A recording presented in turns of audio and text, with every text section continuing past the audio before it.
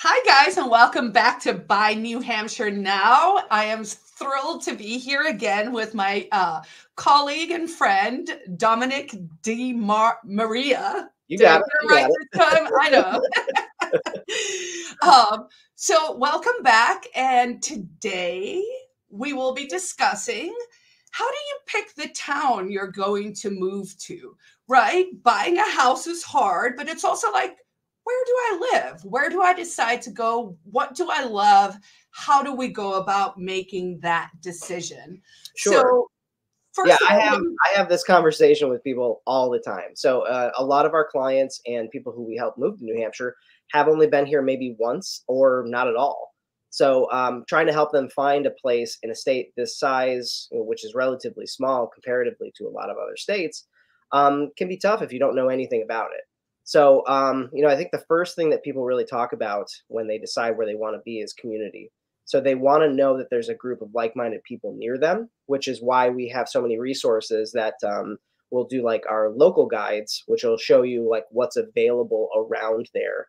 Um, so when you moved to New Hampshire, Carla, what what did you look for uh, for where you'd settled? Yeah, great question. Um, I did visit a fair amount of times before I moved. So, you know, being a Free State Project participant, I did come up for PorcFest and for Liberty Forum and for folks who are new to what we do here. That, of course, is concentrating, you know, libertarians in, in New Hampshire. And so, you know, we encourage people to come up as often as possible to sort of get a lay of the land. And so we did a lot of adventuring just to have a sense of what the state is. Now, New Hampshire is very unique in the sense that, you know, I like to describe it as a tiny little country of its own. But, you know, we have a short little seacoast, we have mountains, there's lake life, there's, you know, a little bit of city life, there's just very strong uh, rural sort of around a town square sort of life. So I think it's really important to come experience it so that people get a sense of, oh, I like this or I don't like this. By way of example, a lot of people will say, oh, I want, you know, 10 acres where I never see a neighbor because they're coming from like crazy city life. But then once you get up here, you're like, mm, is that what I need? So for me, I thought that's what I needed. That was not what I needed. So I'm back in the city. I live in West Manchester and um, and for me it was an issue of really figuring out what i love what i don't love and what would be the best fit for me here in new hampshire i know for my wife and i when we first decided that new hampshire was going to be an option for us we took a, a car trip and we spent uh, a week basically driving around going to different locations we we toured i would say uh, I mean, percentage wise, probably only a quarter of the state, but I mean, we hit all the different counties, kind of saw everything. And uh, the, the cincher for us was going to a new meter uh, potluck, uh, new mover potluck with the FSP, and just talking to people who were automatically friendly towards us in the sense that we had similar ideals and things like that. Um, and that really that drove it home you know that that made us say yes i think this is actually a viable option for us. And then for my wife who is a cheesemaker by trade um, that kind of decided where we were going to be because there's only a handful of them in new hampshire. So we started applying to jobs. So economic opportunity is something that's uh, a big deal for people and New Hampshire does have a lot of industry and a lot of different areas uh, of opportunity for people for jobs. So I think you can pretty much find something anywhere as long as you're, you know, the southern portion of the state has a lot more of those kind of opportunities. Um, not to say you can't find them up north, but it does uh, tend to be a little easier down south. So. Yeah, and and you raise a good point. You know, being close to economic opportunities, obviously that would be more in the southern part of the state. But over the past decade, things have significantly changed here. We now have the internet in New Hampshire. I'm kidding, but of course, you know, we do actually have high speed internet almost everywhere now. And for those super remote locations, there's also the option of something like Starlink. Mm-hmm. So that is changing the landscape of where people can look to live because if you're working from home, you know, the North Country does become an option. Yeah. So I think a lot of people romanticize like the North Country too, thinking that it's oh, it's, I'm gonna live in a cabin in the woods and I'm gonna be all by myself. And it's like, I mean, you can, but you don't have to be. I mean, you're still like the thing to remember is um, tip to tip that you can get from the top of New Hampshire to the southern portion of New Hampshire in about two, two and a half, well, two and a half to three hours, I would say. So you're not super, super far comparatively to a lot of other places to get anywhere. Um, no, and they, I, I would say you're not more than a 40 minute drive, even in the most remote places, to some place where you can, you know, get your prescriptions filled and, you know, get your groceries or something. So yeah, that that's a great point. And for people who aren't that familiar with New Hampshire, driving here is actually quite pleasant. Like if you're into, you know, a nice drive, the roads are generally pretty good and um, you know and it's it's it's not that bumper to bumper. Before the show dominic and i were talking about you know just having to go to new york city and that sort of pressure and all of that. That is not the lifestyle here. So I mean, you might find it in the summer around the lakes, but uh, like if you're up at, on Winnipesaukee or something like that. But that's about it. sure, and that of course is seasonal and it is tourism related. Um, but that is a good point because places like Portsmouth and areas around the lakes uh, do kind of change in flavor depending on the season, and that should be a consideration for people who are looking to to buy you know you mentioned the, the the community. I think also looking at things like maybe taxes and zoning like more of the practical spreadsheety number stuff uh, is something that folks do look at.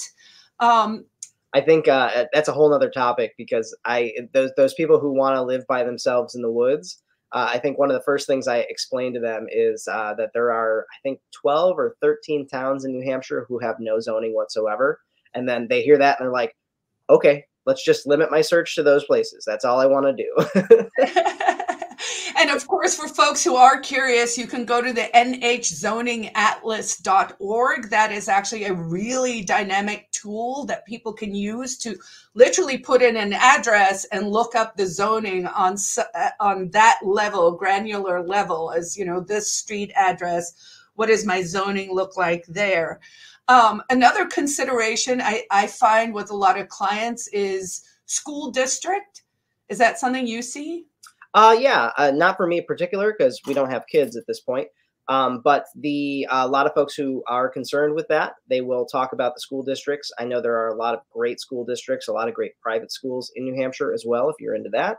And the uh, homeschooling uh, laws in New Hampshire are are pretty great as well. So Right. And that circles back to that notion of community as well, right? So within 40 minutes of driving, you can find a homeschooling co op where kids with similar values and shared things and expeditions and going to the Lego Museum or the Science Center or whatever it is, right?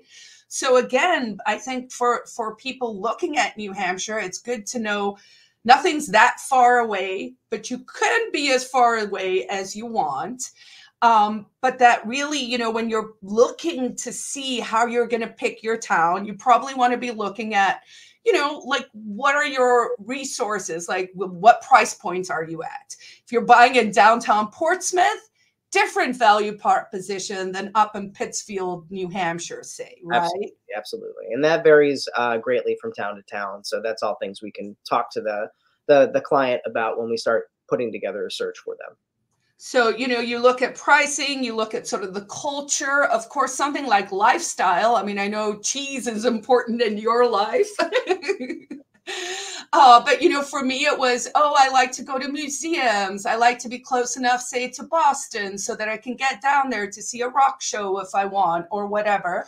So that would probably be something people should look at as well you know, urban, rural, what's around. Um, yeah, it's um in general, I would say New Hampshire isn't necessarily a big walkability state. Like there's not I mean, there's areas of each of the major towns that are walkable and like but you're not gonna like there's no I shouldn't say there's no mass transit because there is. Obviously, there's bus lines, there's trains, there's all those kinds of things.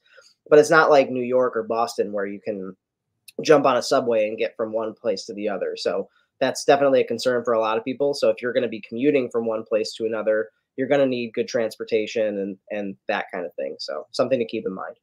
Yeah. So, um, and then for sometimes for our older clients, you know, something like a proximity, and in the same way, like the parents want to know where the schools are, some of our older clients want to know about where's the hospital, how easy is it to get to this location.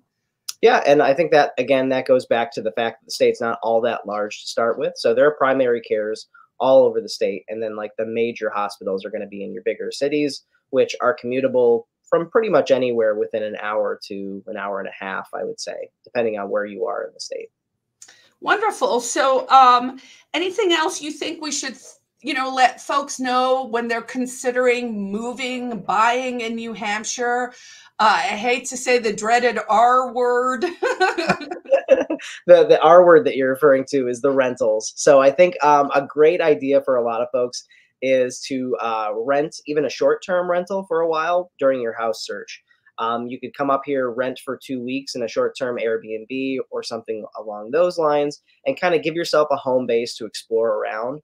Um, it's just a nice idea to kind of get out there, talk to some folks, and see the areas of the state that you want to be in before committing. Um, as a real estate agent, it can be kind of frustrating for us because it can delay the process of getting you uh, that place that you want, and everything moves so quickly up here that um, you know it can be uh, prohibitive sometimes. But at the same time, it's a great idea to get your feet wet and really explore the state.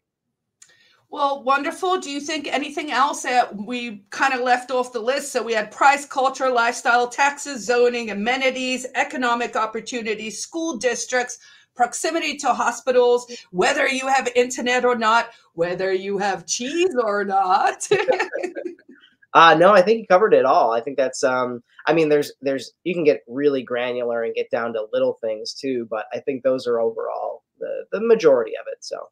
Okay, fantastic. How can folks reach you? Uh, I'm available to to email me anytime at uh, Dominic at porcupinerealestate.com. Okay, fantastic. And I'm Carla at porcupinerealestate.com. Thanks for joining us for Buy New Hampshire Now. We will see you again soon. Thanks, guys. Thank you.